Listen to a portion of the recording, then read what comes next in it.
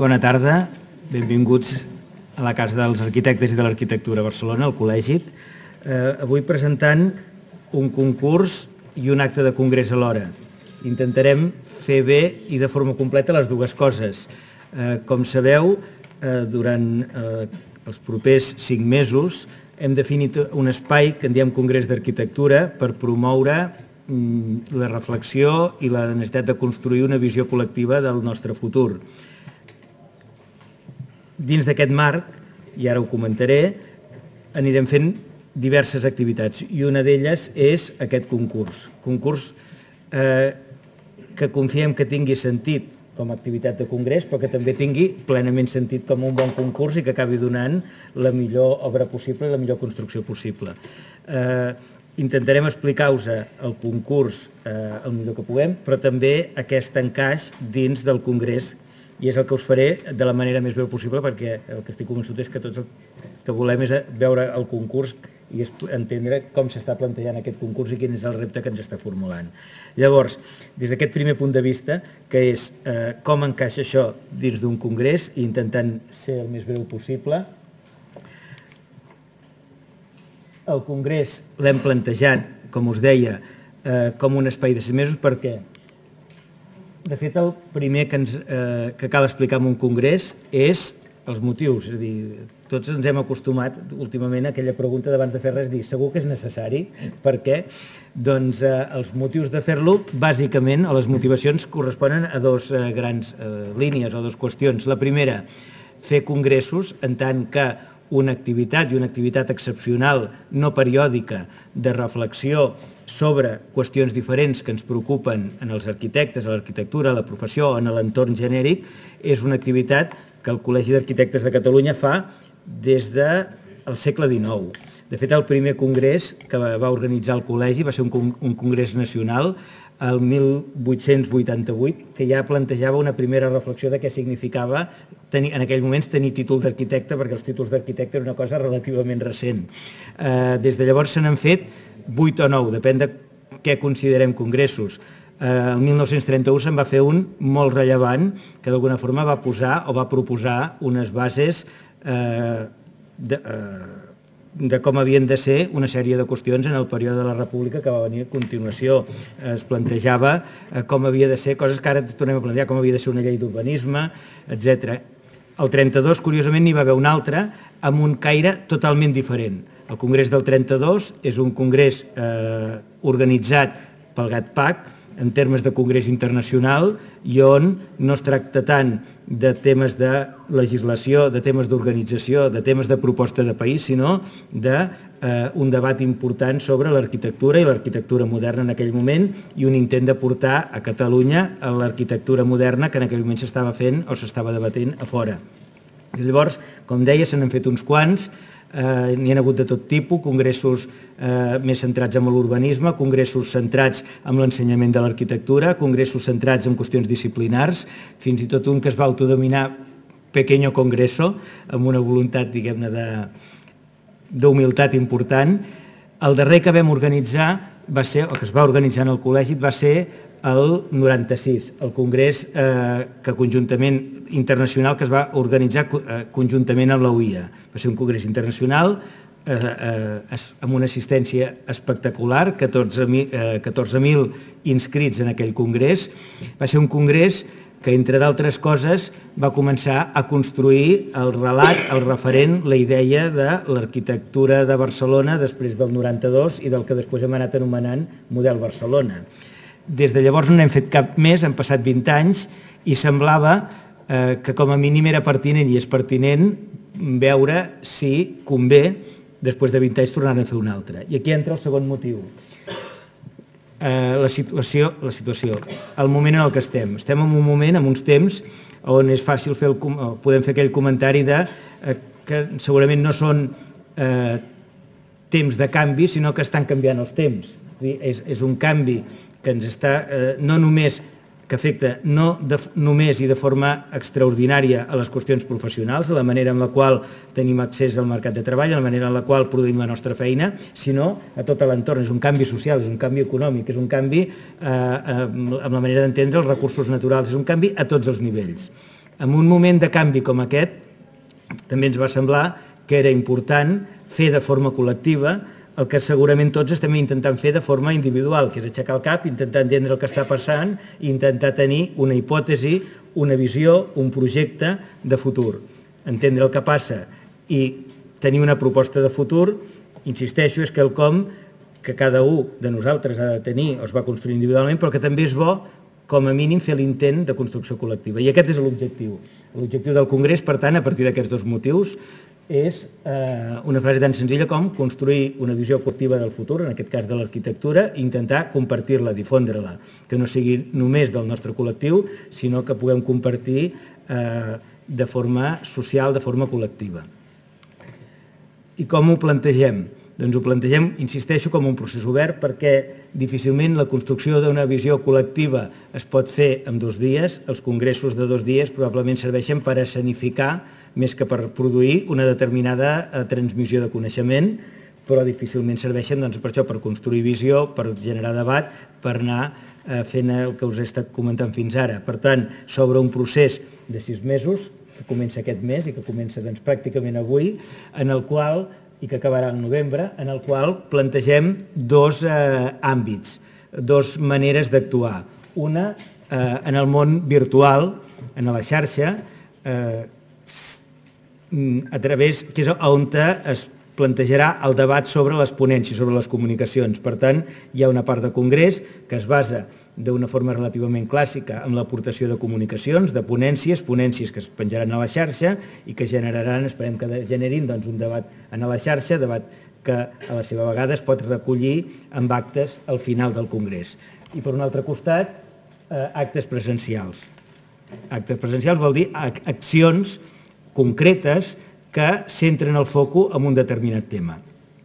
Bé, i finalment, a partir d'això, d'aquests debats en l'entorn virtual, a partir de les ponències i del debat que es puguin generar i de les accions concretes que anem coorganitzant durant aquests eh, sis mesos, confiem anar, anar documentant, anar acumulant coneixement, anar acumulant posició, anar acumulant controvèrsia, diferències d'opinió probablement, i arribar al final amb dos dies de jornades, de trobada, de posada en comú i, per tant, de veure fins a quin punt compartim o no o podem eh, definir posicions compartides o posicions eh, no necessàriament consensuades. Dit això, avui estem precisament fent això. Eh, dins de les accions que, que, que hem plantejat o que s'ha fet una crida a institucions, organitzacions, eh, a to, tot operador d'arquitectura que ha volgut coorganitzar accions temàtiques, un, una de les institucions que va acollir la idea amb, diria quasi amb entusiasme, i que, i que va formular interès en col·laborar va ser el Patronat Municipal de l'Habitatge. El Patronat Municipal de l'Habitatge, amb el Patronat que organitzarem reflexions, sobretot centrades al voltant de l'habitatge, però també eh, ens vam plantejar, us va plantejar, organitzar un concurs. Un concurs que tingui sentit, com deia, com a concurs, però que també tingui sentit com a reflexió en l'àmbit d'un congrés. I això és el que expliquem avui.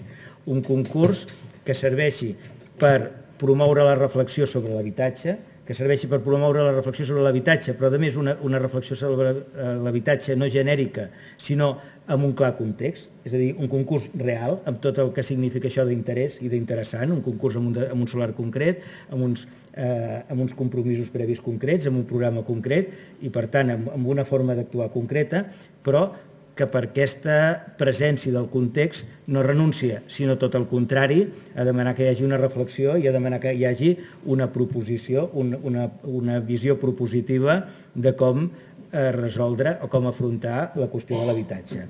Concurs, per tant, que es planteja com una reflexió en el marc congressual, les propostes tindran caràcter de comunicacions, de ponències, i per tant també seran recollides en el marc del Congrés. Per tant, el que us proposarem a partir d'ara no és només participar en un, concurs, sinó també participar en un congrés amb aquestes propostes, però amb l'afegit que esperem eh, que, que estem segurs que tindrà que li dona encara més sentit i és que aquestes propostes, com a mínim algunes d'elles, seran construïdes. Per tant, no es quedaran en l'àmbit de les idees, sinó que el patronat, i en aquest cas la regidoria d'habitatge, agafa el compromís de que aquestes propostes amb reflexions prèvies, seguiran tot el procés i si tot va bé, un dia o l'altre, acabaran sent eh, construïdes, que és l'única forma que tenim els arquitectes i els humans en general de verificar les idees, que és fent que acabin sent realitat i finalment comprovar si aquesta realitat eh, coincideix gaire amb allò que havíem previst.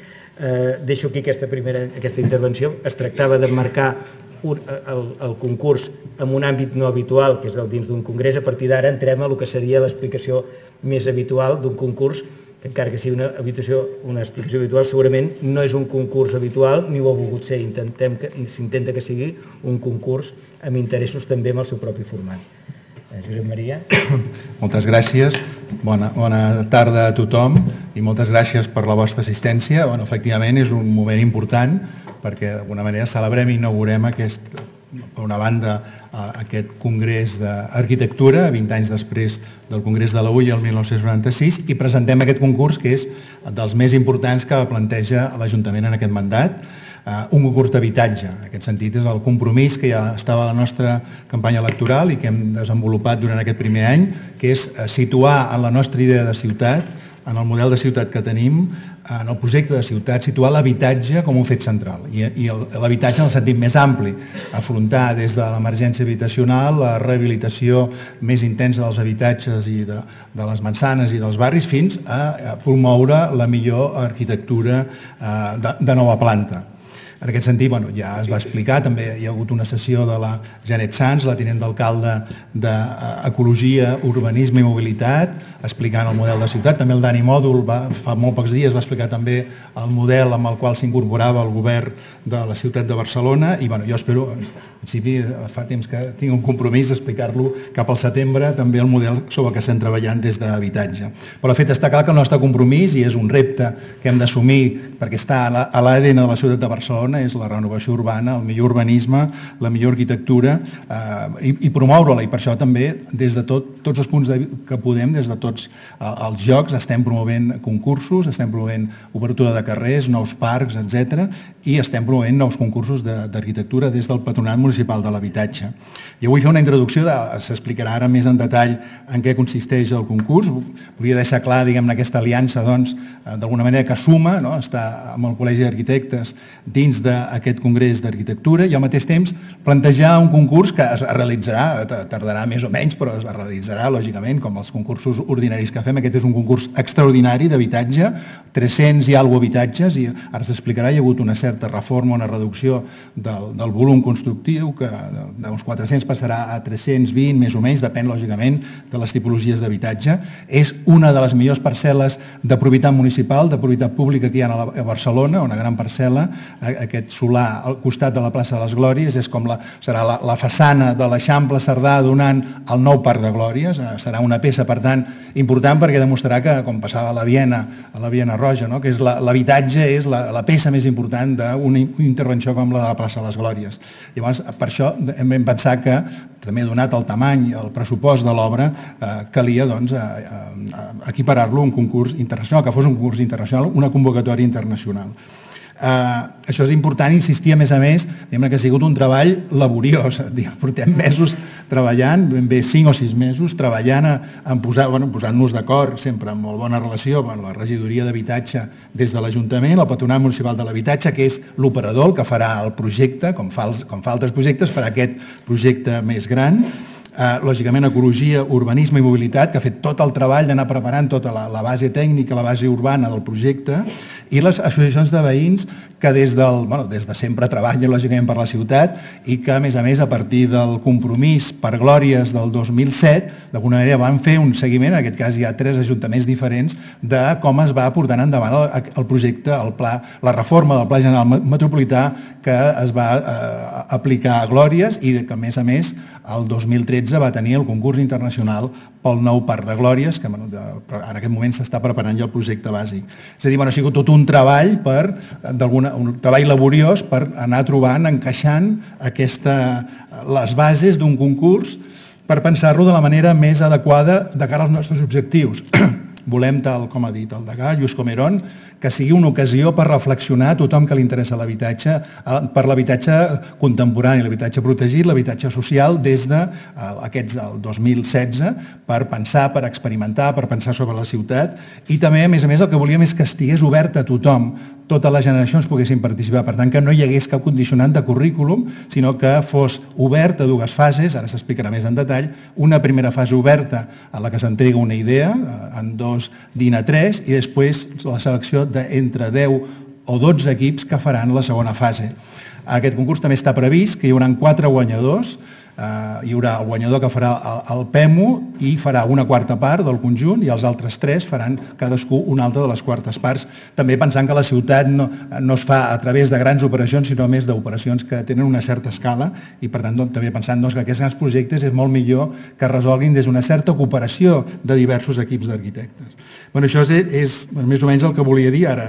De fet, s'explicarà més en detall, però bueno, d'alguna manera jo crec que demostra aquest, aquest concurs, ja dic, estem treballant fa 5 o 6 mesos a fons i és d'alguna manera un dels, eh, de les expressions més importants d'alguna manera de la nostra política d'habitatge des de l'Ajuntament i lògicament és una de, el Patronat Municipal de l'Habitatge està assumint iniciant nous projectes de molt, molt, molt ambiciosos i aquest serà el projecte de tamany més important que faran i, per, i també, diguem-ne, amb tota una cuina de, de, de concurs, etc, doncs més, més elaborat que faran durant aquest període. Per tant, eh, afortunadament han assumit doncs, aquesta, tota aquesta responsabilitat, tot l'esforç d'organitzar aquest concurs.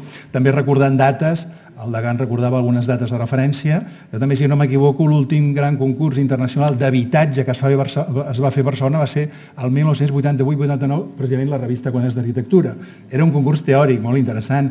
Algunes de, de les propostes encara avui les mirem, 1989. El que plantegem ara és un concurs de veritat, diguem-ne. Tardarem, bueno, nosaltres considerem, possiblement estarà, s'acabaran les obres a final 2019-2020, eh, podrà haver, tardar una mica més o una mica menys, eh, en funció dels entrebancs entrebancs que trobem, però el, el, espero la majoria els veurem, veurem aquests habitatges diguem-ne que van ser el símbol de que la Barcelona actual, l'Ajuntament actual, col·loca l'habitatge, la qualitat de l'habitatge en el centre de la ciutat.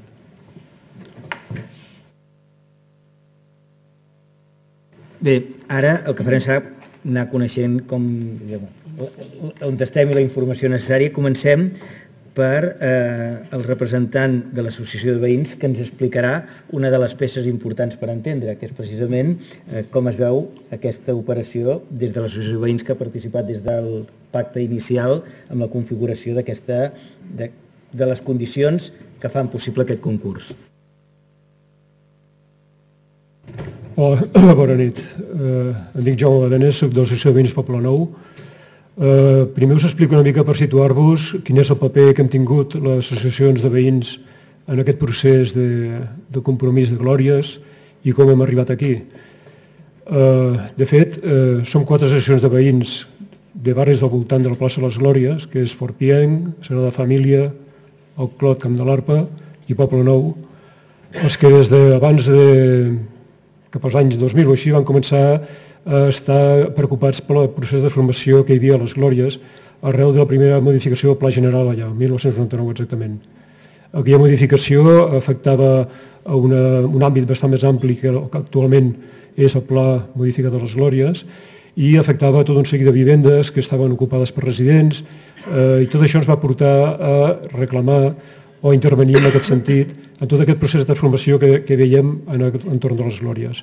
Les Glòries per nosaltres sempre ha sigut un punt, pels barris de la voltant i per la ciutat, ha sigut un punt que no ha tingut solucions adequades. S'han fet diverses actuacions urbanístiques que mai, creiem nosaltres, han arribat a la solució definitiva d'aquest entorn de la ciutat que té d'alguna manera la pretensió de ser el centre de Barcelona. Arrel d'això eh, es va fer tota una sèrie de trobades amb l'Ajuntament en aquell temps que van concloure, després de tot un procés d'anys, amb el que va ser el compromís de Glòries. El compromís de Glòries és un compromís que van subscriure els partits que estaven, tenien representació municipal, excepte el PP, que es va abstenir, i també van signar les associacions de veïns del voltant de, de la plaça i la FAP en aquell moment. Aquest compromís el que intentava era dissenyar, era fixar uns criteris d'actuació en tot el procés de formació que enteníem que havia de seguir a, a la plaça de les Glòries. En aquell moment nosaltres érem molt optimistes perquè es van marcar com a fita que cap a l'any 2014, més o menys, 7 o 8 anys després de signar-los, doncs ja podríem veure aquesta nova configuració de la plaça. Bé, optimistes ho som, però no pren mai, mai l'esperança, vull dir que aquí estem per demostrar-ho. Però allà sí que es van dibuixar quins eren els trets fonamentals que enteníem nosaltres que havia de tenir aquesta plaça. Eh, potser m'estenc una mica amb l'aspecte més genèric de lo que és l'entorn aquest perquè entengueu una mica en quin punt eh, es desenvolupa aquest procés del, de la, del concurs dels habitatges que ara surten a, que s'han anunciat. Us ho explico una mica perquè no és un procés normal, habitual a la ciutat, és a dir, les entitats veïnals han participat des de llavors fins ara en el procés de discussió de com entenem que eh, els barris han de participar i com podem influir perquè la ciutat esdevingui una ciutat per, per viure-hi i no una ciutat per especular o una ciutat en la qual estigui venuda als interessos turístics. Volem que nosaltres ser una veu que arribi i d'aquesta manera sigui eh, escoltada i almenys el procés de formació de la ciutat almenys reconegui aquestes inquietuds que tenim nosaltres. Pensem que a l'entorn de les glòries hi ha una, una confluència, una necessitat important d'habitatges, que hi ha una mancança des de sempre important d'equipaments, hi ha una mancança important de dotacions i de transport, que tot això el que va fer, totes aquestes mancances van fer que es poguessin traslladar en un document quins eren els processos que havíem d'anar seguint per anar eh, complementant o anar assolint o anar eh, resolvent aquestes deficiències que tenia. Hi ha un llistat de només 14 equipaments, només. Eh? Hi ha un llistat que conclou també la necessitat d'habitatge protegit per, el, per, per, per la ciutat i pels barris de l'entorn. La mobilitat, en aquest punt, ha sigut també un dels elements fonamentals.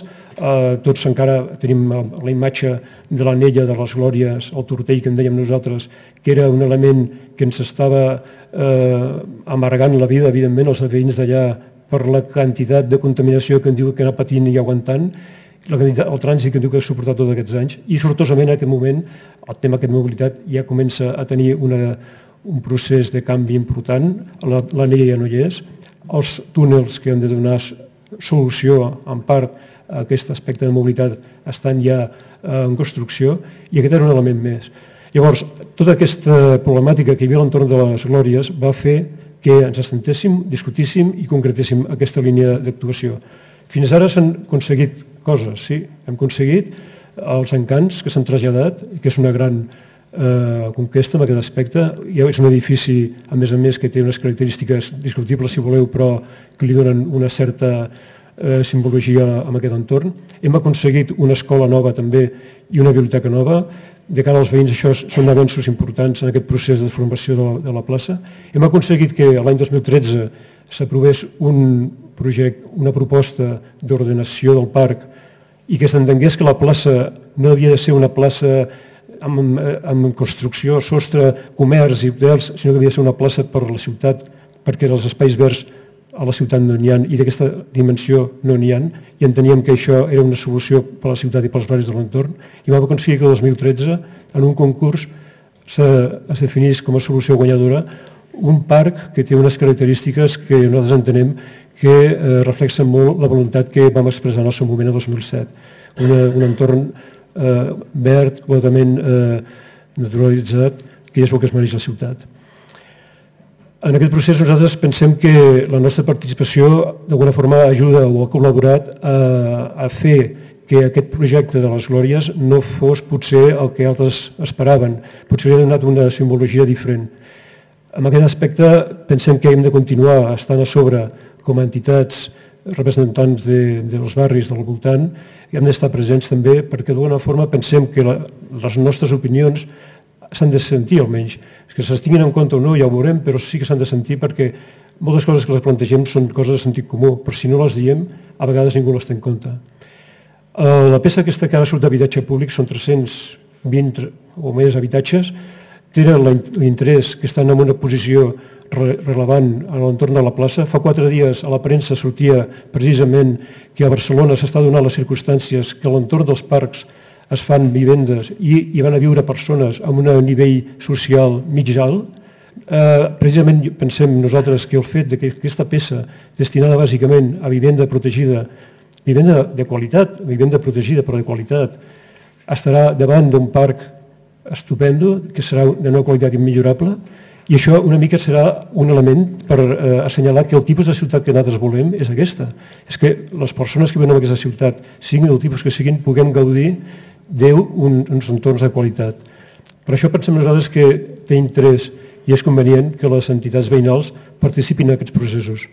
I en aquest aspecte, eh, per part de la regidoria d'habitatge, es va, es va eh, acordar que Eh, en compte i que formarien part del, del jurat, igual que va ser en el concurs de Canòpia, en el concurs del parc. Per tant, nosaltres eh, pensem que aquest concurs que ara es proposa fer té molt d'interès perquè volem posar en valor aquest tipus d'habitatge que sempre ha estat com a descuidat o menys tingut a la ciutat perquè és una vivenda per sectors socials que sembla que no tinguin res a dir en aquesta ciutat quan som la part més eh, nombrosa de, de la ciutat. Pensem que l'habitatge de protecció oficial ha de millorar en qualitat, que avui dia ja ho està demostrant, i a més a més el seu entorn també ha de ser de qualitat. I pensem que precisament aquest concurs el que pot fer és marcar una pauta, pot ser un, un símbol precisament de que l'habitatge de protecció no ha de ser el que ha sigut fins ara, sinó que és, ha de ser i serà un lloc on els veïns de, de Barcelona podran gaudir amb unes condicions assequibles eh, un habitatge de qualitat amb un entorn de qualitat.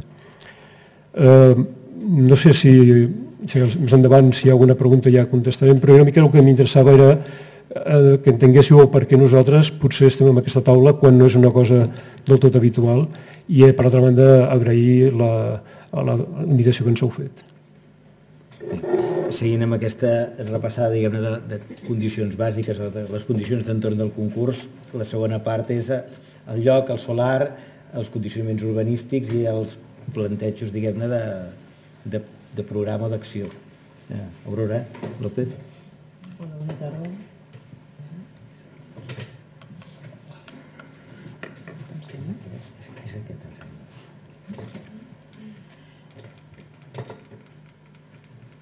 Bona tarda. Eh, faré una, una breu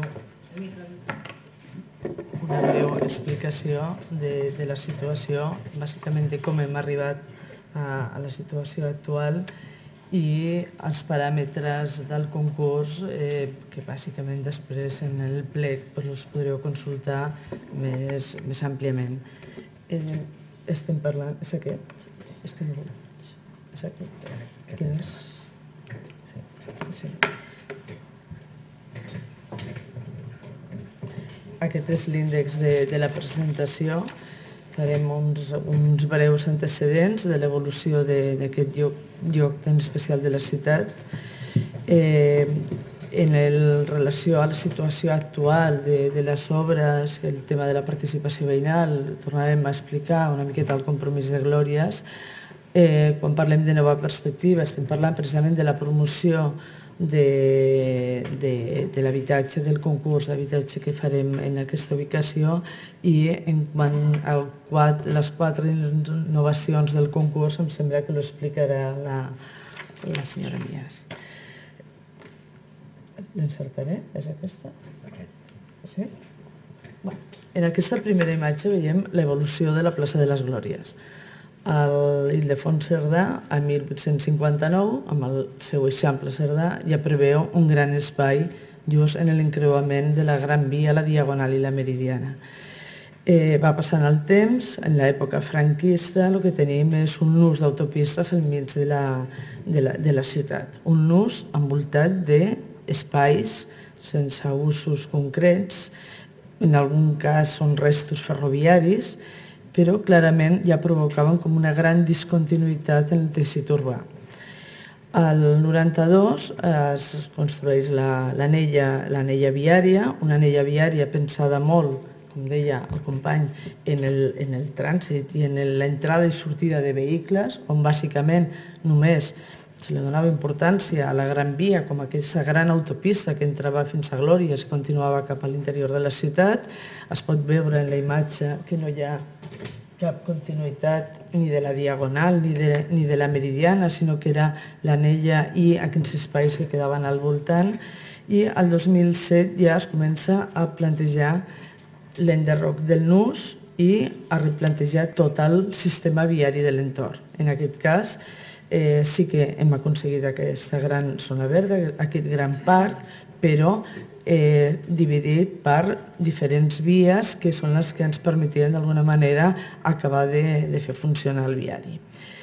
Naturalment, totes aquestes dificultats, aquí s'ha fet una síntesi de quatre moments, jo podria explicar com tres o quatre més, hem tingut de tot, places eh, rodones, places quadrades, rectangulars, girades, és a dir, que és un punt molt difícil de la, de la ciutat, un punt amb unes eh, complexitats també en el subsol que el fan especialment complexa i un punt en el que teníem que dotar la ciutat realment de, de vida i fer un espai realment de convivència. A partir d'aquí comencen els diferents estudis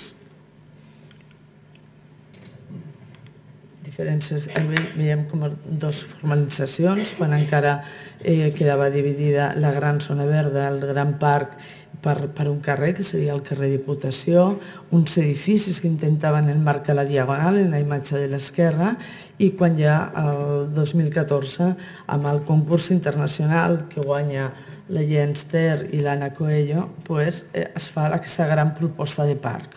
Un parc on clarament la vocació d'aquest espai és una vocació d'aquest espai lliure que ha de servir a tota la ciutat. Eh, però eh, parlem també d'un parc, com s'ha dit, el 2007 hi ha el compromís de Glòries, un compromís que el que suposa és eh, crear un gran espai de verd, però crear un espai d'equipaments. Aquesta imatge és una imatge actual on s'ha enderrocat l'anella i podem veure les diferents fases d'urbanització provisional a l'hora que s'executen les obres. Un espai d'aquesta superfície, estem parlant d'un parc de l'equivalent a 12 illes de l'Eixample, unes obres que ja feia molts anys que duraven, també obligaven a colonitzar o reaprofitar mínimament aquests espais encara pendents, encara provisionals, però que d'alguna manera la ciutadania havia de gaudir d'aquests espais, no esperar més temps per realment aprofitar-los. El compromís per Glòries va, va significar concretar habitatges en un gran espai com aquests. És important la presència d'habitatge. L'habitatge és l'ús que més ens assegura el control de l'espai públic. Eh, una gran llista d'equipaments, parlaven de 14 equipaments, no tots encara, encara executats, eh, una llista d'equipaments que van des d'equipaments vinculats amb, amb el barri, com serien casals, però també residències, centres de barri, eh, escoles, eh, biblioteca, eh, Actualment s'ha inclòs també un poliesportiu en, a prop de l'àmbit de Glòries, uns equipaments que van rodejant aquest gran buit que serà el parc, però que donen un servei molt clar precisament a, tots aquests barris que, que tenim al voltant. Aquí ja podem veure la, la ubicació de l'emplaçament del concurs. Un emplaçament que està, la illa que està situada just per sobre dels, dels encants, quedaria limitada al carrer Cartagena, perdó, ai, és aquesta? Aquesta. Cartagena, Castillejos, Gran Via i un nou vial que s'haurà de crear. És una illa amb una forma eh, trapezoidal que respon sobretot la part aquesta inclinada, a la traça, a la continuació de la carretera de Ribes. La carretera de Ribes és un dels carrers històrics que precisament encara tenim en l'àmbit de, de Glòries. Un carrer que, per altra banda, després se, també es reconeix el, amb el propi projecte de, de les Glòries. Precisament aquests, aquests carrers són els que limiten o defineixen l'àmbit o, o el solar on s'ubicaran els nous habitatges. Parlem d'un sostre... A veure, un moment.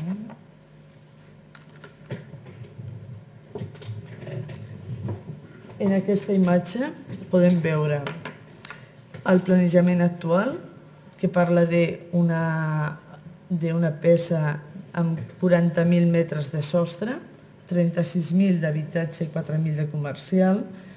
Nosaltres, parlant amb el patronat i també pensant en què eh, el sostre que s'havia assignat amb aquesta peça era excessiu, si realment volíem aconseguir uns habitatges de qualitat, volíem experimentar amb tipologies noves d'habitatge, eh, finalment vam decidir eh, reduir l'edificabilitat total de la peça a 30.000 metres de, de sostre, 27.000 d'habitatge i 3.000 de comercial.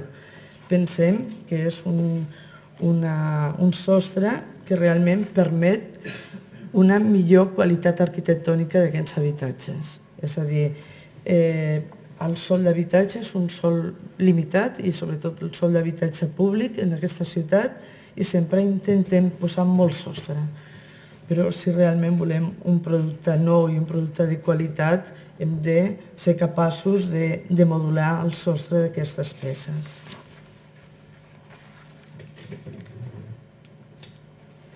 Eh, volumètricament, això és un esquema molt de les alçades de la, de la regulació, amb les diferents reunions, amb les associacions de veïns, s'ha parlat també de fins i tot de les alçades d'aquests edificis.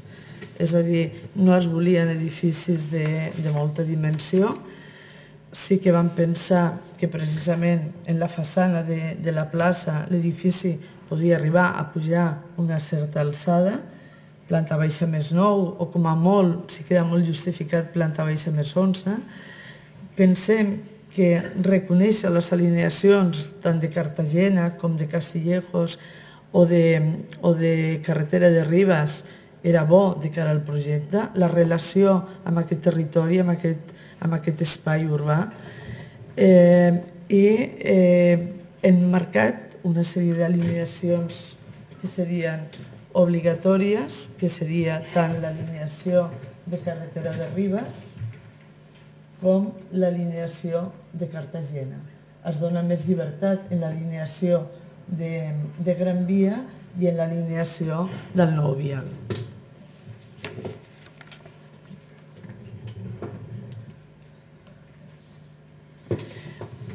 A nivell de paràmetres, com podeu veure, són molt senzills. Eh, és, aquí veiem, hem vist només com una gran volumetria, però hem de pensar que cal cuidar-la i que hi ha un marge important de de, de, per donar forma a aquesta peça. És a dir, veiem una imatge molt compacta, però no penseu que, que realment correspon. Estem parlant d'un gàlib general en el que vosaltres heu de treballar o que caldrà eh, resituar aquest sostre que, està previst.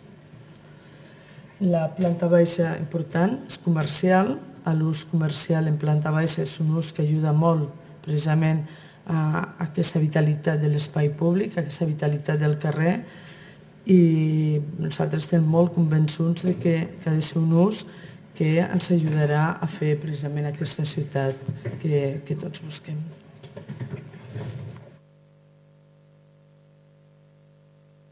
Eh, Àngels Mira ens explicarà la part una mica més operativa, com a mínim una introducció a la part més operativa del concurs.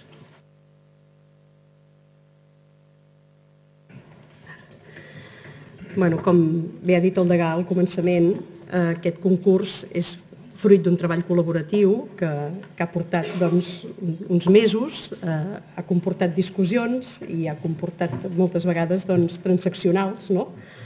Mm, per què? Doncs perquè nosaltres, com a empresa del sector públic, ja ho sabeu, estem sotmesos a la llei de contractes i per tant això també en, ens, ens marca eh, doncs, una sèrie de corsers que no podem saltar Malgrat això, jo crec que entre tots hi hem posat molta imaginació per poder una mica donar resposta a allò que se'ns plantejava, els reptes que se'ns plantejaven i alhora doncs, eh, ser capaços de redactar uns plecs que en el seu moment es publicaran i que, i que per tant són perfectament eh, acordes amb la normativa que, que tenim i que hem de complir.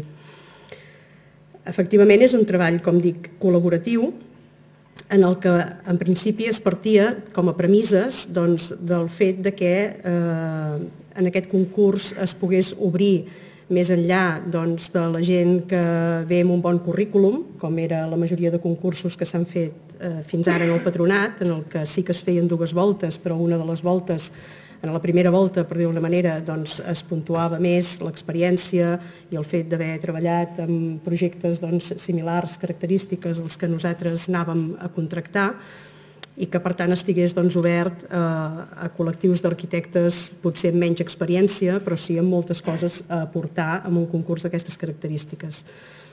Llavors això ha portat una mica a concretar un concurs en el que es continuen amb el sistema de les dues voltes, ho dic perquè primer també vam parlar de fer-ho amb una sola volta, vull dir, hem, hem arribat aquí després de, de mesos de, de feina. Eh? Al final es concreta amb dues voltes, però en la, en la primera volta no es valora la part curricular, sinó que ja es demanarà que es presenti una idea, un, un encaix. A partir d'aquí es triaran uns finalistes que doncs, tindran un termini per presentar ja les propostes de les quals en sortiran no hi ha el guanyador, sinó els guanyadors. I ara us explicarem una mica en, en què consisteix eh, tot plegat. Anant al començament, aviam, es preveu com un concurs amb vocació internacional, però un concurs que, en definitiva, eh, ha d'acabar comportant uns contractes i ha d'acabar comportant l'execució d'una obra és internacional no només pel fet de que per quantia ho hàgim de publicar en el DOE, en compliment de la llei de contracte, com sabeu, sinó que és internacional per vocació. I la prova és que admetrem que la documentació se'ns presenti no només en català i en castellà, sinó també en anglès, eh, a fi efecte de procurar doncs, que, que hi hagin despatxos que, que s'hi animin, que potser d'una altra manera no, no ho farien. Després, com una altra característica important d'aquest concurs és, una mica com m'ha deixat apuntat l'Aurora, la simultaneïtat. O sigui, aquí, com veieu, no hi ha encara el PEMO definit ni aprovat, i aquí també ens vam plantejar com ho fèiem, si ho fèiem en dues etapes, o sigui, si primer trèiem un concurs doncs, per la redacció del pla de millora i un cop tinguéssim el pla de millora anàvem a fer el concurs eh, de projectes, o bé jo crec que ens hem llançat una mica a la piscina, i ho dic així, amb el sentit de que ho fem simultani. O sigui, traiem un concurs en el qual la gent que es presenti haurà de fer, per una banda, un encaix de, de PEMO i després el que demanarem a l'hora de valorar les propostes és que cada equip que es presenti, o cada arquitecte, eh, desenvolupi no només el PEMO, sinó un de les quatre finques resultants, perquè demanarem que siguin quatre finques resultants d'aquest pla de millora. O sigui, el pla de millora haurà de definir quines seran cada una d'aquestes quatre peces i cada un haurà de fer la part de pla de millora més desenvolupar una peça, la que li faci més ràbia. I llavors això com funcionarà? Funcionarà de manera que el concurs tindrà quatre guanyadors quatre guanyadors que no hauran de treballar simultàniament en el mateix edifici, que això també era una de les qüestions que es plantejava, no? que interessava que no hi hagués un sol guanyador, una peça molt grossa, es volia que, que es pogués obrir, que hi hagués doncs, més gent que hi pogués eh, participar, però mm, de, ho hem encaixat d'una manera amb quatre propostes, quatre finques, de manera que el, el concurs, com he dit, tindrà quatre guanyadors, el guanyador primer se li encarregarà el pla de millora i se li encarregarà que desenvolupi una de les finques resultants, el guanyador segon se li adjudicarà una segona finca, el tercer una tercera i el quart la quarta, de les resultants d'aquell del pla de millora que resulti. No sé si m'explico bé, però és una mica complicat, eh? Costa una mica. Per tant, tindrem quatre guanyadors en els quals se'ls faran els quatre encàrrecs. Un tindrà l'encàrrec de redacció del PEMO més quan estigui el PEMO aprovat, la redacció del projecte corresponent i els altres tres equips redactaran, redactaran i dirigiran cadascú, perquè com hem dit és una obra que esperem fer-la, eh, una de les quatre finques resultants. En el fons no deixarà de ser un treball col·laboratiu, perquè estem convençuts que aquests quatre equips mm, de cap manera poden funcionar de forma autista, sinó que hauran de posar-se d'acord, estan treballant en un mateix espai, estan treballant, encara que cadascú tingui la seva finca, amb una cosa que ha de tenir una idea de, de conjunt. Dit això, com altres particularitats que té aquest concurs i que no té doncs, els que hem fet fins ara en el patronat, eh, és també la composició del jurat. Aviam, sí que és cert que en els últims concursos que hem fet ja hem introduït eh, en el jurat eh, membres eh, externs de reconegut prestigi i en aquest cas el que es preveu és que, a part de la mesa de contractació, que és la que diu la llei i que és el, amb, els, eh, amb els membres que, ha de tenir, doncs que hi hagi, a més a més, un jurat que després dongui suport a la mesa a l'hora d'escollir i, de, i de triar les propostes, que en principi, això s'ha d'acabar de definir, estaria composat per un membre del col·legi, per un membre de l'escola, per un representant dels veïns eh, de Glòries, i en principi podrien haver-hi dos membres més perquè la llei el que ens diu és que el jurat pot haver-hi fins a cinc membres, dels quals un terç han de ser necessàriament arquitectes, però no tots han de ser arquitectes, doncs que es podria incorporar eh, gent d'urbanisme o inclús d'altres disciplines i això ho hem d'acabar-ho de, de definir i de treballar. En definitiva, eh, aviam, el que es pretén és obtenir un resultat que per tant és l'edifici, això també interessa dir-ho perquè a vegades ens perdem molt en com triarem a l'arquitecte, i sé que estic aquí a casa dels arquitectes, eh? i que per vosaltres és molt important, però també és cert que pel client, que en aquest cas és l'Ajuntament de Barcelona a través del patronat, és important com triem l'arquitecte i és important quin resultat final volem. Volem un edifici amb uns habitatges, que han de ser habitatges en protecció oficial, que eh, ens interessa que tingui estàndards alts de qualitat arquitectònica, però que siguin funcionals, evidentment amb sostenibilitat energètica. També pensant en la durabilitat d'aquests habitatges, o sigui, la majoria és, és important dir que si la majoria d'aquests habitatges doncs, els hem de nosaltres gestionar amb lloguer, ens interessa que siguin edificis, que siguin funcionals, però que a més a més eh, tinguin un manteniment adequat i també eh, a l'hora de dissenyar el, el producte, a l'hora de dissenyar els habitatges, doncs haurem de tenir en compte la sostenibilitat social. Estem parlant d'una peça molt grossa, com ja ha dit l'Aurora, d'un voltant d'uns 300 habitatges, en funció de quins acabin sent els programes que s'hi encaixin, si més grossos o més petits, però ens interessa que en aquí hi pugui haver-hi una certa mixtura una diversitat tipològica d'habitatges que també ens porti a una diversitat tipològica d'usos d'aquests habitatges i, per tant, d'usuaris finals d'aquests habitatges. Jo no em vull enrotllar més amb aquest tema, i com que després hi haurà torn de paraules, doncs estem a la vostra disposició. Val, doncs, per anar tancant eh, aquesta explicació, no, no queden moltes coses, bueno, agrair moltíssim a la, a la gerent del Patronat Municipal de l'Habitatge, a la gerent d'Urbanisme i al representant de l'Associació de Veïns del Poble Nou, perquè cada un ens ha anat contextualitzant i explicant de manera laboriosa realment com hem anat preparant amb el màxim de cura i complexitat i atenent tots els factors aquesta convocatòria de concurs, que esperem que, que molts i moltes dels que esteu aquí us animeu i que també tingui un ressò de participació internacional d'arquitectes de països europeus i insistir en el que ha dit també el degà al principi, no? que d'alguna manera suma, no? suma l'esforç municipal i l'esforç del patronat per eh, aprofitar aquest, aquest solar especial per fer el concurs i assuma amb la voluntat del Congrés que organitza el Col·legi d'Arquitectes per reflexionar sobre l'habitatge col·lectiu contemporani, no? per reflexionar, debatre, fer ponències i aquesta reflexió creiem que es produeix de la manera més autèntica possible, no? que és projectant alguna que d'aquí uns anys estarà construït i eh, gaudiran eh, veïns i veïnes de la nostra ciutat. Bé, doncs ara tenim un torn obert. En aquí m'agradaria fer una consideració que segurament eh, és pertinent, eh, en el sentit de que eh, el que s'ha intentat per part de la regidoria d'habitatge, i en aquest cas, com, era pel col·legi, és, eh, com es deia abans, tenir un procediment que ens permeti tenir el millor edifici possible. Eh, l'interès del col·legi és els col·legiats, però també l'interès públic, i l'interès públic és el tenir el millor edifici possible, per tant aquest és un interès compartit. però a més eh, generar un procés que dins de l'estreta franja que dona avui la llei de contractes de l'Estat eh, ens permeti tenir les màximes eh, opcions possibles a tenir un bon edifici i a tenir un bon procediment i a tenir un mecanisme que dongui espai doncs, a, a poder-se plantejar coses. Aquest és un àmbit com deia, molt estret.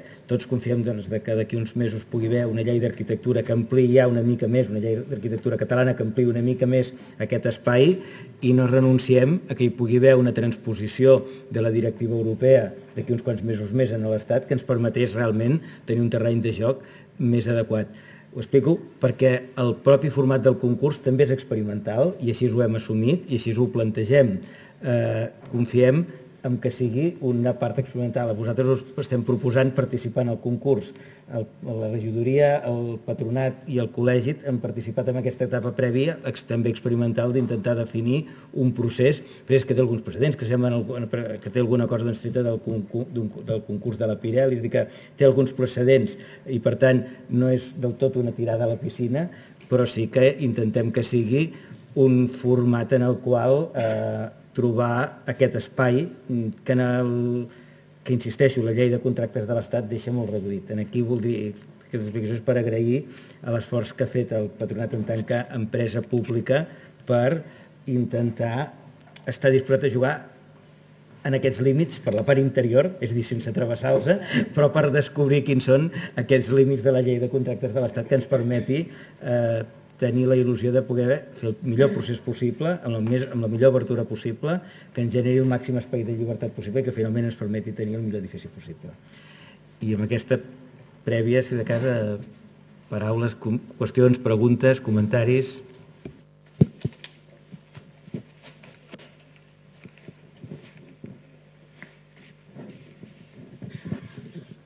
Gràcies, bona tarda. En primer lloc, felicitar la iniciativa d'un nou concurs, benvinguts siguin, estan llargament perseguits i promocionats per la societat civil i professional. Estem al Col·legi d'Arquitectes i és una de reivindicacions històriques. Hi ha, hi ha uns quants com a contagotes sempre, però bueno, eh, benvinguts siguin i espero que no sigui, eh, que sigui una primera gota grossa i però que vinguin moltes més, perquè si no, no, no, no acabarà de, de solucionar la, la sequera eh, econòmica i fonamental que, que patim no solament com a ciutat, sinó també com a col·lectiu professional d'arquitectes. Dit això, eh, que és la meva més sincera felicitació perquè, per l'èxit del concurs, eh, va la pregunta. Eh, la pregunta és, eh, en, en quina mida, eh, perquè em sembla molt bé la, la, la iniciativa, però en, en quina mida aquesta nova, aquest nou carrer que se genera, ho dic, ho dic en un espai on, on la diagonal no continua, apareix un nou carrer eh, que defineix per primera vegada aquesta nova parcel·la. I aquest, I aquest carrer és la continuació del carrer eh, Cartagena, és eh, Federic Montpou, és Àlava, és a dir, és un carrer que té molts noms i ara tindrà segurament un quart nom en aquest, en aquest tram, o serà un, de, un dels ja assignats. La pregunta concreta és en quina mida aquesta parcel·la, que com sabeu molt bé, està compromesa des del punt de vista no solament de la proximitat amb, amb la renovació urbana dels, dels, dels, dels, del Teatre dels Encants, etc etc, però que està compromesa bàsicament amb una infraestructura tècnica ferroviària subterrània, que és la gran embocadura eh, que, del, del, del ferrocarril que passa a ser eh, de superfície, subterrani, justament on hi ha la, la, la central, la central eh, de Renfe en aquest punt. Per tant, eh, aquest projecte no solament serà un, un, un projecte en planta, sinó que tindrà una dimensió com, complementària complexa perquè compromet compromès d'una manera tècnica important i, i per això pot ser un dels elements positius de, de, del projecte, la, la generació i la construcció d'aquest edifici a sobre de la infraestructura ferroviària existent. Eh, és així?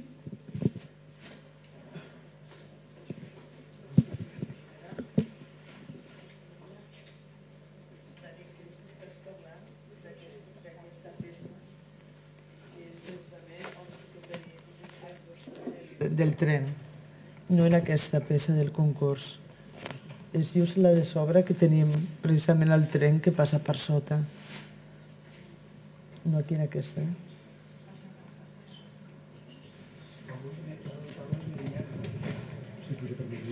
Sí, però, però fa el gir per aquí. Gira sí. No, la, la, de dalt, la de dalt és, esteu assenyalant ara... Aquesta és la del concurs. Val, val. I precisament el punt que dius que, que és molt difícil és aquesta altra illa d'aquí, aquesta superior, perquè just ens passa per sota el, el túnel del, del tren. Correcte. del ramal que va sí, cap a... No, no hi ha infraestructura ferroviària En- en- eh, en que afecti la, la, en- la qualitat en edificatòria. cas, En aquest cas no. Si no trobem alguna cosa molt estranya, perduda. Si no, no hi ha cap infraestructura ferroviària. Si no m'equivoco, el que sí hi ha és una instal·lació elèctrica un, que obligarà un cert voladiu en, a la part. Només, però hi ha un cert condicionant, però és un voladiu d'un parell de metres. És l'únic condicionant que hi ha infraestructural, però no, no hi ha cap infraestructura ferroviària. No.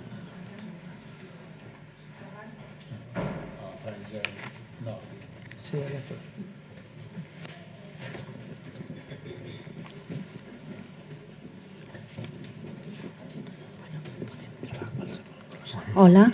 Eh, jo primer de tot volia agrair per la part que em toca que el concurs sigui obert, ja que es dona oportunitat als joves que no tenim currículum. I hi ha hagut una coseta que no m'ha quedat clara i és la segona volta es, es valorarà el currículum? Tampoc, no? Gràcies. Com a tots els concursos, i això sí per llei de contracte, hem d'exigir la solvència, per tant, s'haurà de presentar un primer sobre en el que s'acrediti el, els dos requisits bàsics de solvència, que és l'assegurança i el fet de, de tenir la titulació adequada. Llavors, un cop nosaltres obrim aquest sobre, eh, sortirà la llista de tots els admesos que hagin passat la solvència, se suposa que tots, però bueno, eh, és un requisit que s'ha de complir. Llavors sí que es donarà un termini per presentar aquesta primera volta que ja és pròpiament d'idees només, que és d'encaix, que exigirem dos dinatresos, un per la part del pla de millora i l'altre per la part de, de la parcel·la definida prèviament en aquest pla de millora que es vulgui desenvolupar.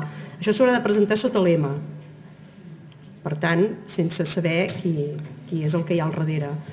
Llavors, aquí una mica el que es va plantejar és la dificultat de fer dues voltes sota l'EMA, perquè clar, lo normal és que quan la primera volta és curricular, presentes després la, la proposta ja d'encaix i d'idees sota l'EMA. En aquest cas, el que es faria és aquesta primera volta ja sota l'EMA, eh, un cop s'estriï els equips que passaran a la segona volta, no podem avisar ningú perquè no sabrem qui sou, sinó que es publicarà en el perfil del contractant quins són els lemes que passen a la segona volta i aquests hauran de desenvolupar la idea que ja havien eh, deixat plantejada en aquesta primera volta, en aquí amb dos dinadosos. Cert que ens heu de dir moltes coses amb dos dinadosos, perquè això és el que servirà per triar realment els guanyadors del concurs.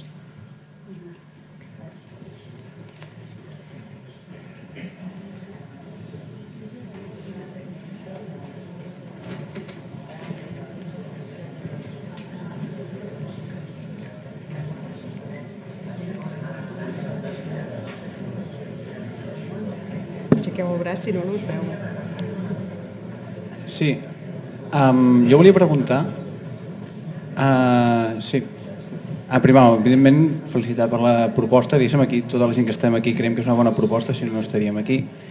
Jo penso que està molt bé que sigui internacional i llavors jo també preguntaria, ja que hi han d'haver amb quatre guanyadors, diguéssim, potser estaria bé també la línia del que deia la, la companya, potser estaria bé fins i tot per fomentar els arquitectes joves i que, en fi, pues, que és una cosa que sembla que estaria bé fomentant al país, per exemple, que dos dels guanyadors haguessin de ser, per exemple, arquitectes joves, menors de 35 anys, per exemple, penso que podria ser una iniciativa interessant. Entre altres coses, perquè penso que els joves sovint tenim idees, potser per inexperiència, potser pel motiu que sigui, que són interessants. No? Si, es pret si pretén que sigui un concurs de referència, podria ser interessant. No?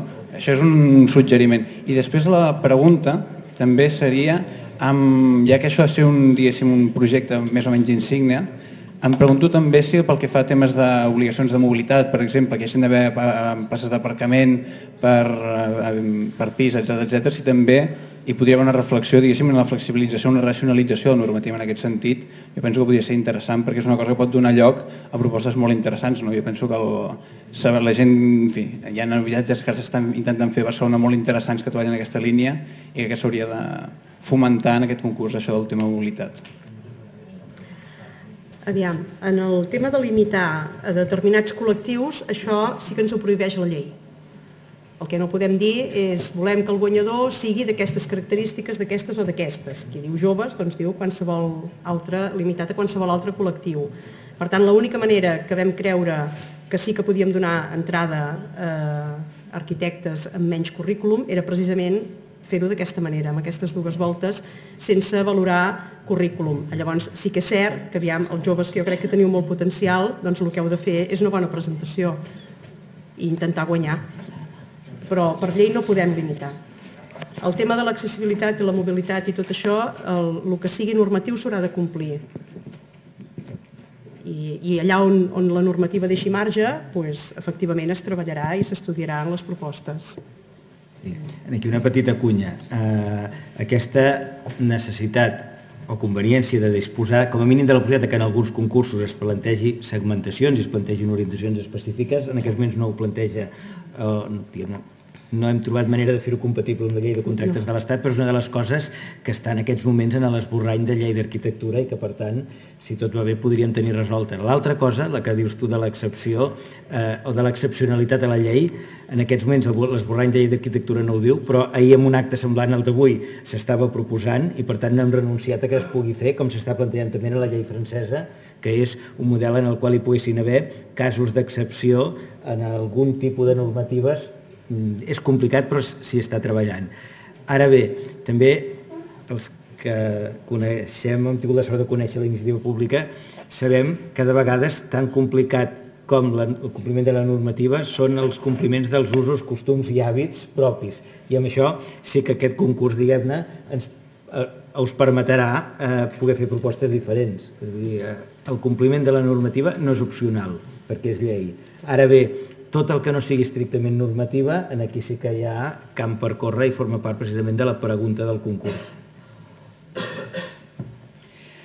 Eh, només volia comentar una cosa i és que ja, ja entenc la dificultat de comunicar eh, qui, qui ha estat eh, seleccionat a la segona fase o el que sigui, però, com, però se soluciona enviant un correu a tothom que sabeu que s'ha presentat perquè normalment els vostres concursos, si no ets seleccionat, no reps cap comunicació i, i això te n'assabentes a vegades amb 15 dies de... després, quan passa alguna excepcional, com ha passat ara. Sí, cert.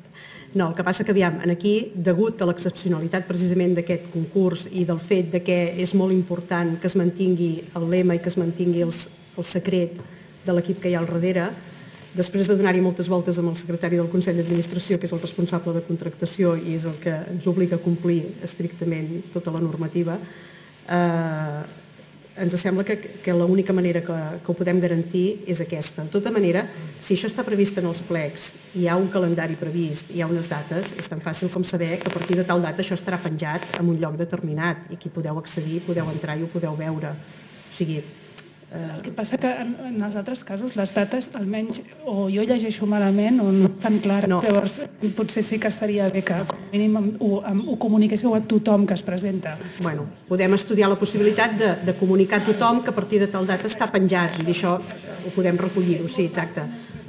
Vale, vale, perfecte. Sí, també. Sí.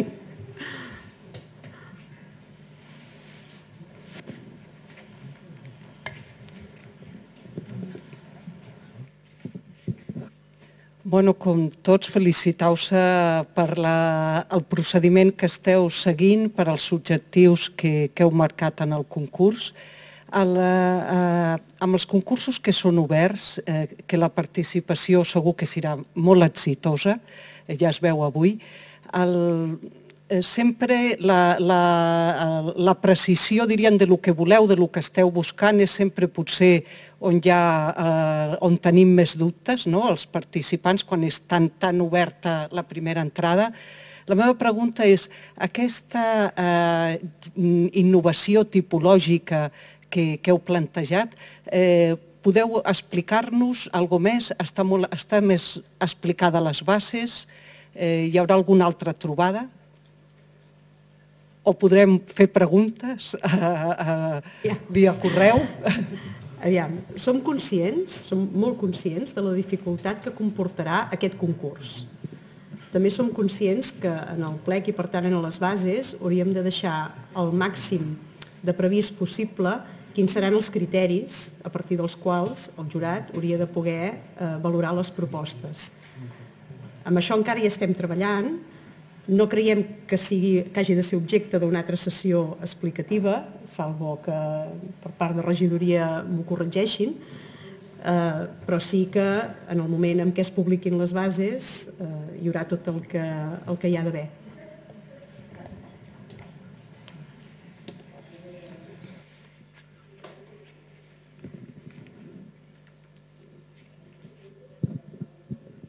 Hola, bona tarda.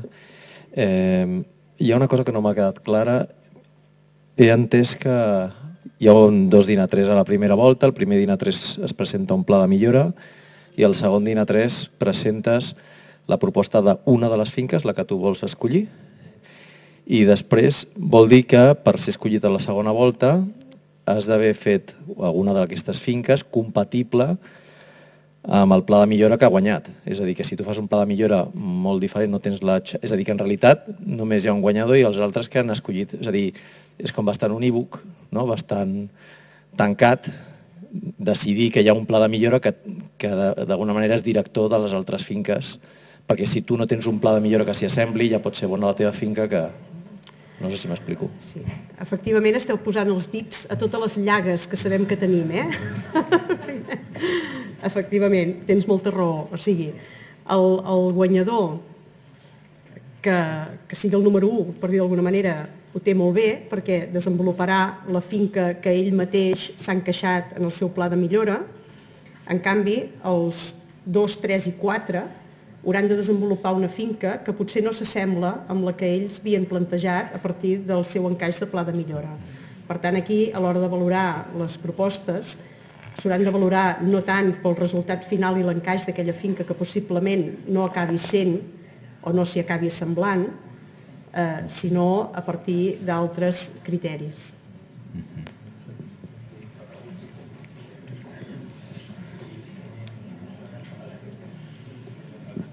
Perdó, llavors repregunto, si som capaços de trobar quatre finques ideals, per què no hi ha quatre plans de millora urbana? És a dir, per què hi ha d'haver un, pla, un pla de millora urbana de, de tot? És a dir, per què no poden haver-hi quatre finques idealment solucionades que totes elles siguin compatibles entre si i després o abans o, per què no després, es redacti un pla de millora urbana a mida de les quatre finques idealment solucionades?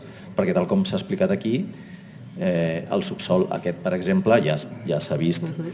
veient que els túnels resulta que, que costen evidentment el doble del que s'havia dit perquè el que hi ha aquí sota és increïble és a dir, són finques molt particulars no, no, no, no són eh, és a dir vaja, això no és la confluència la Gran Via, la, la Meridiana i la, i la Diagonal, això era la confluència d'un nus viari enorme i, i la frontera entre Sant Martí de Provençals i la resta de la ciutat, fins que no es van unir. És a dir, realment és un, un lloc particular de la geografia del Pla de Barcelona i de, i de l'Eixample i un altre poble que es deia Sant Martí. És a dir, no, no, no, és que sigui un, no és que aquí coincidien tres carrers, van coincidir perquè es van dibuixar, però és que és molt complicat d'origen, de gènesi.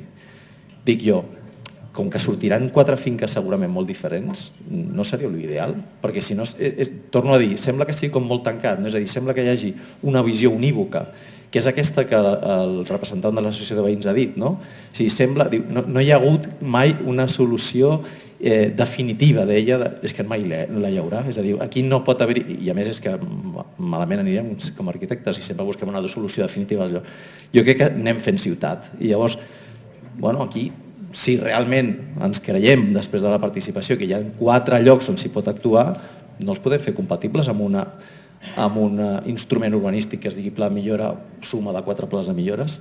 Torno, dic, dic sobretot per, perquè realment sigui obert el concurs, si no sembla que sigui tancada una sola visió. No sé, jo puc passar la paraula a l'Aurora, eh? No, no, no. De totes maneres no ho entenc gaire bé com, sí. com ho planteja, no? Perquè és cert que és... Sí, sí, és difícil preveure-ho, però clar, el volum està molt definit. Nosaltres entenem que els plans de millora urbana no seran tan contradictoris entre ells i que les propostes no serà tan difícil d'encaixar i també entenem que, bueno, també l'Aurora pot dir la seva opinió, no? però entenem que pot haver una feina des del mateix patronat de reencaixar els projectes. Eh? Entenem que pot haver un cert moment en el qual, lògicament, ja el guanyador és el que té més iniciativa perquè defineix el PEMU i els altres tres s'han d'acabar d'adaptar. Però d'alguna manera ens sembla que no, no, pot, no serà tan difícil i tan, i tan conflictiu, però bueno, lògicament no podem preveure-ho tot. No sé si l'Aurora ho té més pensat, no? Lo que nosaltres teníem molt clar des del principi que el que no tenia sentit era fer un pla de millora i després fer el concurs perquè l'experiència és que després les propostes sempre seran molt més imaginatives que el que fa eh, l'arquitecte pensant només en, en, en base a temes de planejament. La teva proposta és molt complexa, perquè això voldria dir que entre tots els concursants trobem quatre que fan exactament la mateixa divisió de l'illa. Llavors, eh, eh, i, i, que, i, que, i que encaixen entre elles. A veure, penseu que quan parlem aquí de pla de millora, no vol dir que el pla de millora regularà absolutament tot de les quatre parcel·les, sinó que regularà una volumetria general i després cada projecte haurà de desenvolupar-se. És a dir, i, mm, i la voluntat que tenim és que precisament aquest pla de millora sigui el més flexible possible per no condicionar el, els projectes resultats. I aquí també una qüestió de metodologia. Quan plantegem dues voltes és per resoldre el dilema, si no insolucionable, d'un concurs a una volta, una sola ronda, obliga que per poder tenir elements de judici suficients per poder triar bé, s'ha de treballar molt, s'ha de fer una proposta bastant eh, clara i precisa i que tots els que vulguin participar en un concurs obert estiguin obligats a dedicar i esmerçar tot aquest temps a fer una precisió per la qual després només serviran una, dos o tres o quatre propostes, ens sembla que és un despropòsit. És a dir, veure de vegades exposicions, aquesta no esperem exposar-ho, on veus de vegades centenars de setmanes o mesos que per desgràcia no tenen continuïtat, no vull dir les paraules no han servit de res, però sí, diguem-ne que és un, un esmerçament de feina, d'il·lusió i de ganes brutal, ens semblava eh, que és, no és pertinent, és quasi una impertinència i més amb, amb les dificultats que tots estem atrevessant. Ara bé, també és imprescindible, com deia el regidor anteriorment, que perquè la ciutat pugui triar, triar la millor opció possible hi hagi aquest grau de desenvolupament. Per això el dos voltes. Però llavors això el que significa és que també, i és una hipòtesi que haurem de verificar, eh, puguem utilitzar adequadament cada una de les voltes. Què vol dir això? Que en la primera no es tracta de fer una proposta concreta d'edifici concret. La primera és concurs d'idees. Per tant, en la primera, eh, en el segon DINA 3, del que es tracta és de formular una proposta una reflexió i una proposta estratègica, una proposta de línia de com es desenvoluparia un edifici a partir d'algunes reflexions. És dir, no es tracta de la primera volta explicar finalment com acaba, es tracta de suggerir proposar idees a partir dels quals es seleccionin aquests 10-12 eh, equips guanyadors que seran els que ho desenvoluparan. Entenem que això també ajuda a complementar. En la primera volta es selecciona eh, una idea de PEMU i es seleccionen 12 equips que han mostrat com idees interessants per entrar a veure com desenvolupen. Aquests 12 equips amb 12 idees interessants, amb 12 línies de planteig interessant de tipologies, eh, se'ls assigna un dels quatre solars i a partir d'aquí vindria aquesta segona fase a on es desenvolupa la tasca. Eh, és un format que, com dèiem, eh, cal veure com es desenvolupa, però que com a mínim dona resposta a qüestions que sabem que fins ara no funcionen. Un concurs obert del tot, on eh, 100 200 equips presenten dos dinadosos, a més amb la capacitat que tenim d'amb dos dinadosos posar pràcticament un projecte executiu és un despropòsit. Eh, però una presentació només de projectes molt poc treballats tampoc dona les garanties suficients de que la ciutat tria la, la millor proposta. Per això aquest format de dues voltes i aquest format en aquest cas de dues voltes amb dos concursos simultanis, el del PEMU i el de les quatre parcel·les. Hola, bona tarda. S'ha contemplat que l'equip redactor eh, hagi de desenvolupar el projecte en sistema BIM?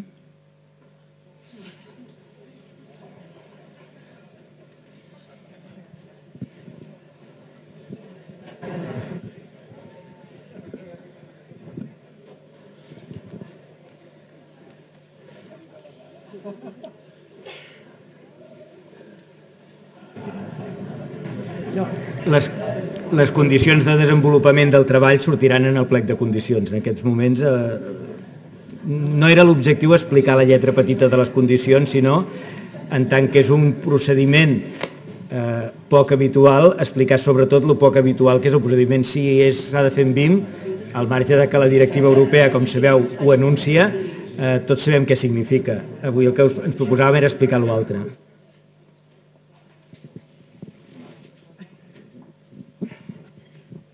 Hola, bona tarda. Eh, és evident que estem en uns moments delicadíssims. És el final d'una època d'una crisi molt llarga, amb, un, amb una falta de feina establerta, establerta clarament des de fa molts anys, amb una desconfiança cap a la manera com s'han presentat els concursos aquests últims anys, amb una desconfiança també a la manera com es resolen els concursos, amb una desconfiança cap a les puntuacions que s'han fet respecte als concursos, una desconfiança també eh, respecte a la manera en què es decideixen al final els guanyadors. I sobretot, i sobretot, amb una quantitat de burocràcia enorme. Els nous temps haurien de significar, i nous plantejaments polítics, i, per tant, noves maneres de fer el problema de la construcció de la ciutat i, per tant, noves maneres de fer els concursos. Per altra banda, mm, hi ha la necessitat de que tothom pugui participar, però pugui participar d'una manera senzilla. Jo possiblement perquè he arribat tard i no m'he entrat bé de tot com anava el concurs, però sempre hi ha una, una mica el, la sensació de que és difícil entendre què és el que és de participar com es participa. No? La pregunta és, tan difícil és fer un concurs obert, amb uns plantejaments clars, amb un, amb un jurat clar, on tothom pugui participar, i si hi ha 200 persones, doncs hi hagin 20 premis. I si hi ha 400, hi hagin 40 premis, on es pugui plantejar obertament, des dels més joves fins als més grans, els criteris que tenen sobre la problemàtica de la vivenda, de la nova vivenda, que és necessària, de com poden sortir noves vivendes amb, aquesta, amb aquest present que, que, estem, que estem avui. No? Aleshores, tot això em preocupa quan veig una, una taca en aquí, que després sembla que seran quatre, que s'haurà de fer un estudi de detall, que s'haurà de fer tota una sèrie de coses i que aniran, ho veig una mica enrebaçat. Eh, possiblement és una manera que s'ha de, que s'ha de fer, eh, que és, ho heu estat estudiant i llavors és fotut que vingui un tio aquí i digui que s'ha estat estudiant durant quatre mesos i hem arribat a la conclusió més precisa del que ha de ser aquest concurs, però, eh, en canvi, mm, no sé si val la pena replantejar el tipus... Bueno, jo crec que s'ha de replantejar el tipus de concurs.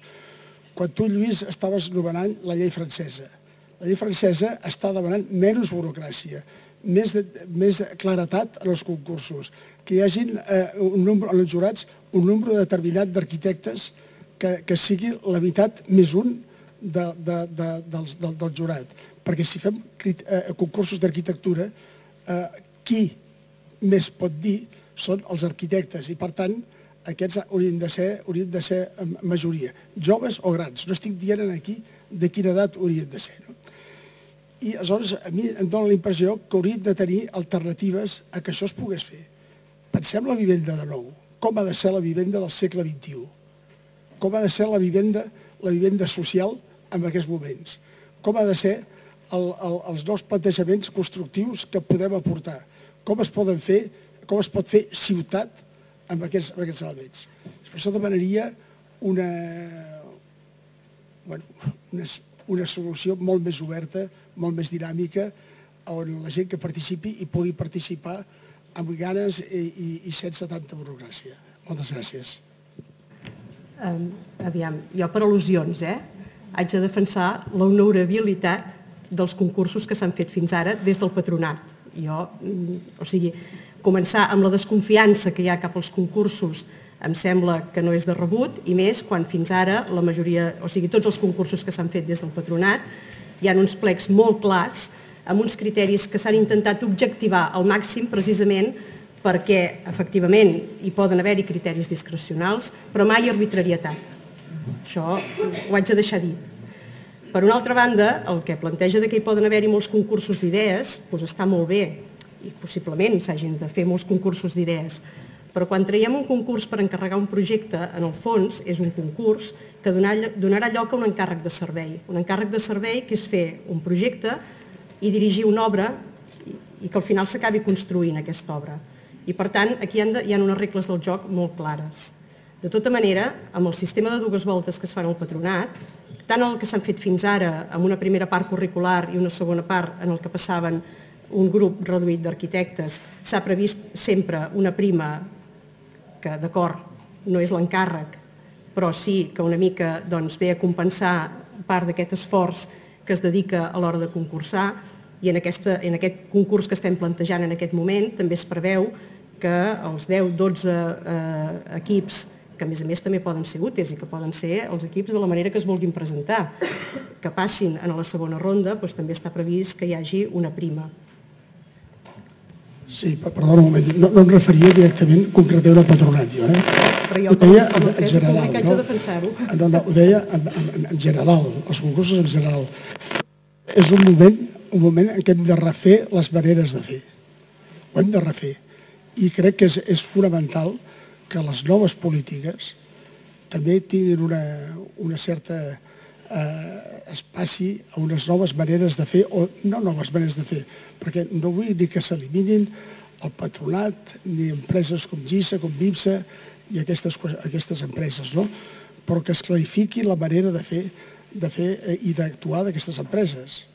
No, no, és, no, no, no, no estic en contra de la honorabilitat de ningú, ni criticava concretament a ningú, ho deia en general eh, quan comenen, i repeteixo amb la idea de, de que està passant a França, és una qüestió que està passant a Europa respecte a la problemàtica que tenen els arquitectes.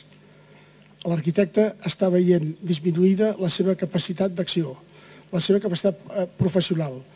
Eh, I de, de tot això, eh, a França, que estan bastant avançats en aquest terme, eh, aquesta no és una llei, és una manera d'adjudicar els concursos, d'elaborar unes maneres de fer, d'elaborar eh, eh, eh diferents eh, que, que no existeix, existeixi, i repeteixo, tanta burocràcia, no? i que les coses siguin molt més clares. No? És només això. I aquí, mm, Esteve ja ho saps, és dir, eh, aquesta possibilitat que hi ha a França de millorar les coses, el que estem és intentar portar-la aquí en rang de llei perquè ens permeti precisament tenir aquest marge de joc que d'avui no, hi, no hi tenim. Jo he comentat, confiem en poder modificar aquest marc eh, de joc i que puguem fer experiments eh, molt més diversos que aquest. Aquest és un experiment eh, que ja he dit, és a dir, si han sigut 5 mesos, 5 mesos per trobar els límits en la llei de contractes de l'Estat. Segur que no és el concurs ideal de cap dels que estem aquí. Esperem que sigui un bon concurs i segur que és, eh, diguem-ne, eh, que dona més espai que els habituals que els fets fins ara, insisteixo, amb la, amb la legislació eh, que tenim fins ara. I aquí el compromís del col·legi, i ho sabeu, és treballar precisament per fer aquest canvi de legislació, però això sí que no és imputable a les empreses públiques, sinó que és imputable a la capacitat que tinguem de promoure un canvi de legislació. Per tant, en, aquest, en aquesta part és més tasca per aquesta part de la taula que per la resta, i estem en ello.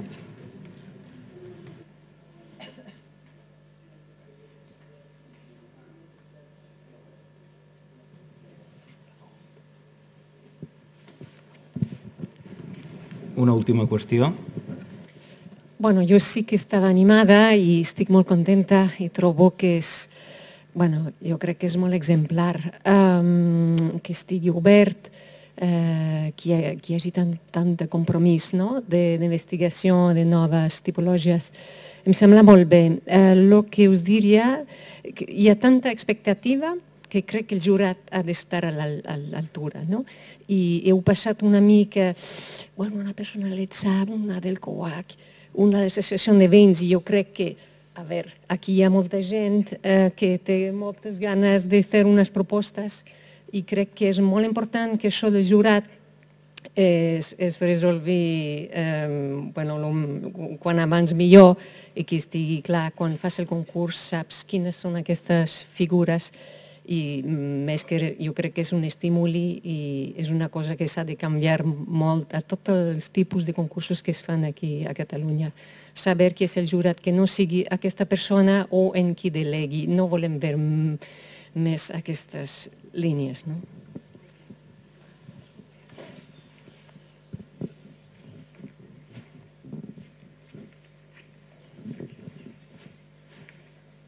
Bé, doncs ho deixem aquí. Moltíssimes gràcies. Eh, som conscients que el concurs, que el concurs de respecte, eh, genera il·lusió. Eh, és un concurs que es planteja amb, amb molta ambició, tant com a concurs com amb l'objecte que genera, i tots els que hi han participat també som conscients del grau de responsabilitat que això implica pel jurat, però no només pel jurat, sinó per tothom que estem implicats en això. I des d'aquesta consciència de responsabilitat assumida, eh, us donem les gràcies per estar aquí i us encoratgem a participar-hi. Moltes gràcies.